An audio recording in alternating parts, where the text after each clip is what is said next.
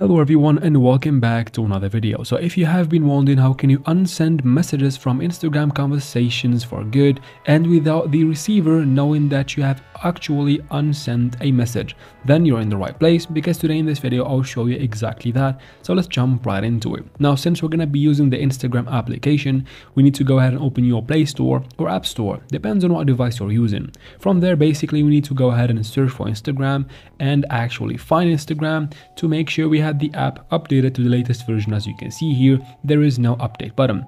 That means our app is up to date. After that I can quit the store. Now let's go ahead and open Instagram. From Instagram, of course, you have to be logged in. And then tap right here in the top right corner on this icon to open your chats and conversations. From here, choose and open the conversation that you want to send a message from.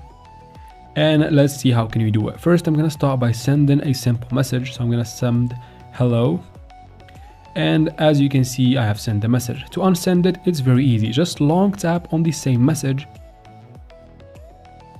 and then tap on unsend in the bottom right here. And as you can see, once I unsend it, it leaves no trace and they will never know that I have actually sent this message.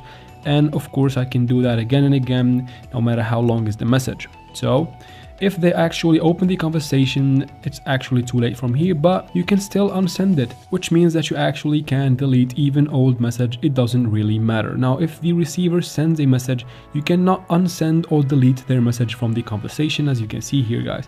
But as I said, you can always unsend your own messages by following the same process I have showed you in the beginning of this video.